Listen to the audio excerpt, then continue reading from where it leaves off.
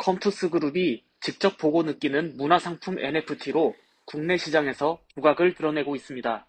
공급자 편의로 만들어진 초기 시장과 달리 실물 굿즈와 공연을 결합해 사야 할 이유를 만들어간다는 전략입니다.